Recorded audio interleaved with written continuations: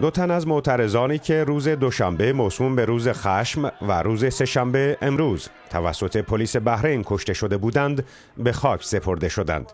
هر دو نفر از کشته شدگان از شیعیان روستاهای حوالی منامه پایتخت بحرین هستند.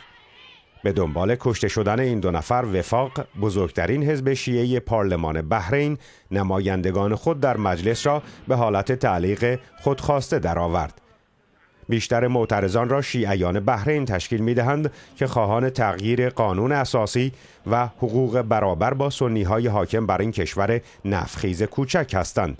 حمد بن ایسال خلیفه پادشاه بحرین برای آرام ساختن فضای ملتهب این کشور قول داده است به هر خانواده بحرینی مبلغ 2650 دلار پرداخت کند.